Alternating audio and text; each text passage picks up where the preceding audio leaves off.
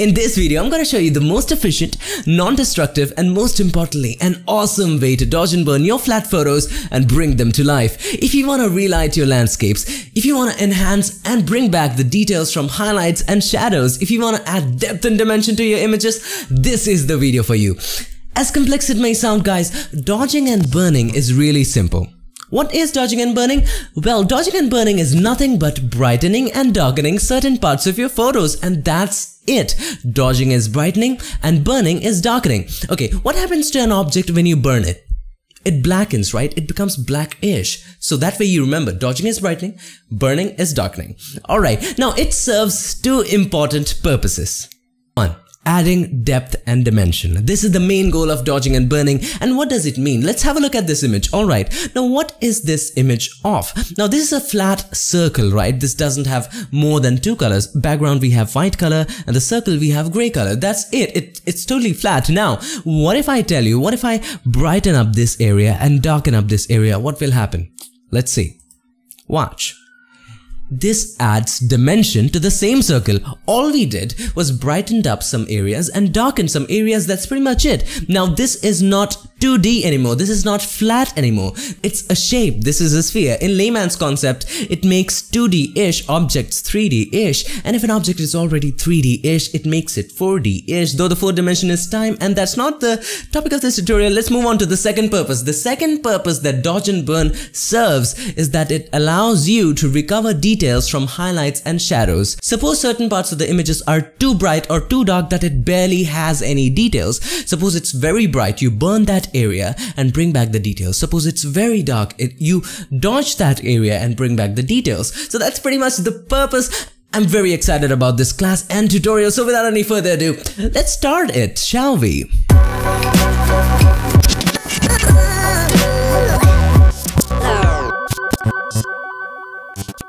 So here we are in Photoshop. So the first thing that you need to do is to open the image as simple as that. Guys, Photoshop is very simple. You guys complicate it. Alright, so the second step is make a 50% gray layer. Complicating? Alright, we'll get to that. So, press and hold Control, Shift and N. Okay, if you're using a Mac, it's Command Shift N. This creates a new layer. Alright, if you don't want to press that shortcut, you can always go to Layer, New, layer. Alright, look at the shortcut, Shift Control N, the same thing, right? Use the shortcut, it will boost your workflow. Okay, Control Shift N, Command Shift N if you're using a Mac. Then name this layer, alright, in the name section, you just have to type burn, okay? And you can give any name, but just to identify that you're using this layer to burn your photo, just name it burn, makes your life so much more easier. Alright, mode, change this to overlay and make sure you check fill with overlay neutral color 50% gray. Okay, check this and click OK. As you can see, there's a gray layer, but you cannot see the gray anywhere. This layer, although this layer is above the main layer, you cannot see the gray. Why? Because the blending mode is overlay. Okay, and if I change the blending mode back to normal, you can see the gray thing. Now, why is it going away? Why is the gray going away? If you have watched my previous tutorial on blending modes, you would already know that the blending mode overlay removes everything which is exactly 50% gray, brightens everything which is white, darkens everything which is black. Alright, so let's move back to overlay. And now, as I said, overlay brightens white color. That means if I paint over with white here, it will brighten those areas in the underlying layer. Alright, but we don't want it. We want to bring back the clouds here. So what do we do? We take the brush and the name of the layer is burn and we will only use this layer to darken up areas, not brighten up areas, okay? So take the brush, make sure on the foreground color you have black, okay? And on the background color, remember on the background color, you have to have 50% gray. Now, what is the hex code for 50% gray? 808080, okay? 808080. You can also remember it by red 128G, green 128, blue 128, alright? Click OK. On the background, on the color we have gray, neutral gray. On the foreground we have black. Why so? We'll get to that in a minute. Alright, so paint over the clouds with black. Make sure the flow is somewhere around 30, 40-ish. So whatever you feel the flow should be. Now what is flow? Think of flow like this. If the flow is low, say flow is 10. Then you need to paint 10 times to get a particular effect. And if the flow is 100, you have to paint one time to get the same effect. Are, are you getting what I'm trying to say? Alright, awesome. So keep the flow somewhere around low-ish and start painting over the clouds. Alright, as you already begin to see that we are getting some details, awesome details. Alright, make sure you are smoothly painting it. Make sure you have a soft brush. To make the brush bigger or smaller press and hold alt or option right mouse button and drag it to the right to make it bigger and drag it to the left to make it smaller. Alright like this like that. Drag it upwards to make it soft and downwards to make it hard. Alright so once you've painted it watch what we have done. This is the before this is the after. Isn't this amazing? Alright, now here's a problem here. As you can see, I have accidentally painted a little bit over this kind of surface. I don't know what it's called. Just help me in the comments below. Alright, I don't know what it's called. I'm bad with my uh, vocabulary vocabulary. Alright, so if you have gone overboard or extra thing, all you have to do, press X. Watch this, press X. Now, See the color changes. The background color becomes the foreground color and the foreground color becomes the background color. Now if you paint with gray, it goes away.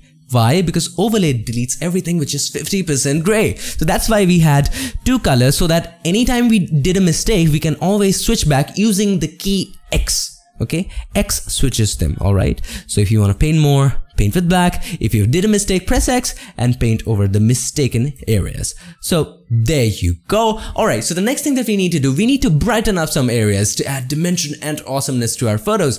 Alright, to do that, create a new layer again. Control Shift N, Command Shift N if you're using a Mac, Command Shift N, and then name it Dodge. Okay, do the same thing, mode overlay and check the fill with overlay neutral color, click OK. Alright, so suppose you want to brighten a little part of the surface. I still don't know what it's called.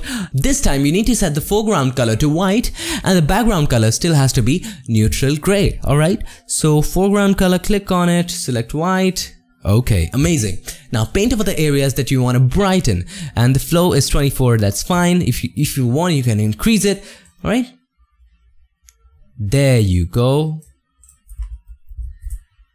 Alright, if you want to brighten certain areas, want to brighten this area. There you go. Alright, let's look at the before and after. So this is the before, this is the after. We have brightened up that particular area. If you want to group these two layers, press and hold control and click on the second layer. Select both the layers and press Ctrl G. Command G if you're using a Mac and this groups both of them up. So, so, let's look at the before and after. So this is the before, this is the after. Isn't that amazing? Now if you think the effect is too much, you can always go ahead and decrease the opacity. Alright, opacity is our all-time friend and it will always be. Alright, so uh, let's move on to our next example and our next example is somewhat interesting. If you want to relight your photos, this is the method, this is your way to go.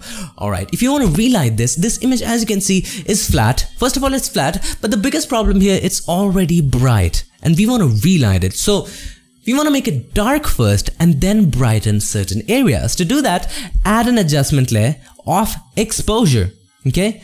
Add exposure and decrease the exposure a bit. Maybe to this extent, that's fine.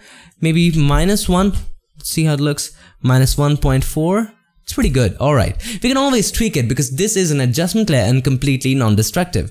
Alright, so now let's create a new layer in the similar manner in which we created in the previous example. So, Control Shift N, dodge, alright, burn first. No, we don't need burn here because we are just brightening up certain areas. So, just dodge.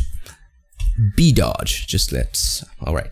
So mode, overlay, fill with overlay neutral color, click OK. Alright, now think of it like this, brighten up the areas which would normally be brightened if there was a beautiful, brilliant diagonal light to it. Alright, so let's start brightening up areas. Alright, see, the magic is already being added to this. Isn't this looking awesome? I'm gonna fasten up the process so that you guys don't get bored and also have the idea of what I'm actually doing. Alright, so let's do this. Let's fast forward in 3, 2, 1. Let's do it.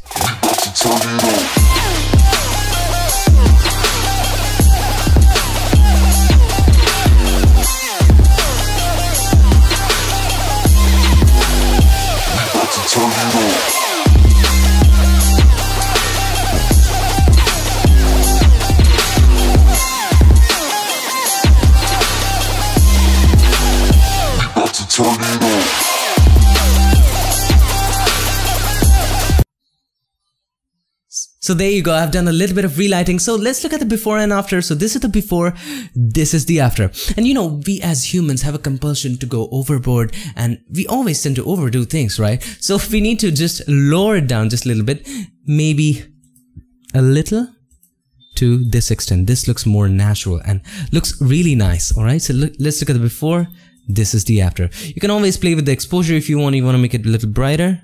There you go. So before, after.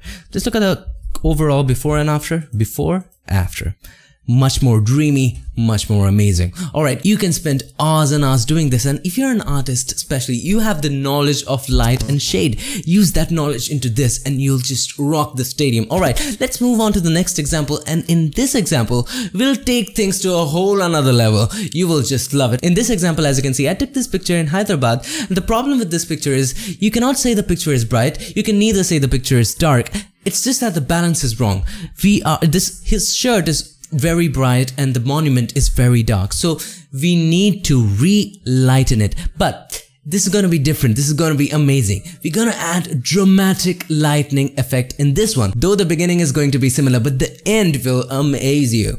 Alright, so we're gonna do the same steps. Control Shift N, burn. Alright, so mode, overlay, fill with overlay neutral color. Oh, Alright, so let's do the burn first. Let's take black and let's try darkening up his shirt. Oops. Okay. So there you go. A little bit is fine. It's, it's pretty good. Awesome. I don't think we need too much of burning in this one. It's already a bit darkish. Alright, let's do the next step. Control Shift N. Dodge. And this is where the mystery and the fun begins. Mode Overlay fill with overlay neutral color and now meticulously, tenaciously, graciously paint the areas that are that should have been bright if there was an awesome light throwing from the sides or from the bottom or from wherever you want. It's you. You relight the area. You relight your image. Decision is yours. You decide where the light is coming from. Okay? Just make sure it's not totally opposite of where the light is originally coming from in the actual image, right? So first thing that we need to do, his face is a bit darkened, so we need to, we need to brighten it, okay? So, the, oh, foreground color, make sure it's white, alright? Now, let's paint over his face, the brighter areas of his face. There you go. You go. Now this is looking a little fade-ish, but wait, just wait till the last effect. Alright, last step, alright, let's just paint the brighter areas to add dimension. A little bit here, a little bit here, maybe a little here. There you go. Awesome, amazing. Now, Time to add brightness to the monument, to the temple. I just forgot the name of the temple, I don't remember it. But, ah, alright, so let's add. This area is bright. Light is coming from the right hand side, so we need to brighten the right area. Okay? Let's do that. And let's just fasten up the process so that you guys don't get bored. Alright, so let's fasten up the process in 3, 2, 1, right now.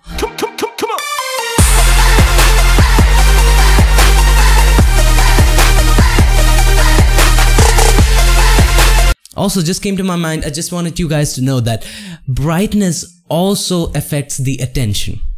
Say, you want to drag the attention of the viewer to a specific area. Brighten that area. You will directly look in that area. Also, in, in this example, as you can see, if you want to drag the attention, draw the attention of the viewer to him, his shirt is already white.